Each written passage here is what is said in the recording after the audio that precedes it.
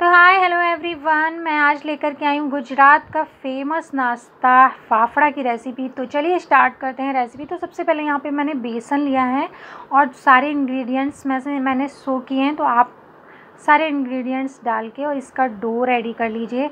आपको मेरी full recipe YouTube पे मिल जाएगी, आप जाके देख सकते हैं। अभी इसको ओवल शेप में बना के हाथों से, हथेलियों से, हाथों की इस तरह प्रेस करके और बना लेना है और नाइफ़ सीधा करके इसको हल्के से निकाल लेना है।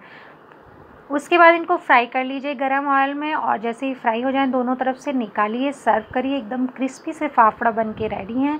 अच्छी लगी वो रेसिपी तो एक लाइक कर दीजिए, नए हैं चैनल पे तो सब्सक्राइब कर लीजिए। मिलती हूँ नेक्स्ट और बहुत अच्छी अच्छी रेसिपीज़ के साथ, तब तक के लिए बाय बाय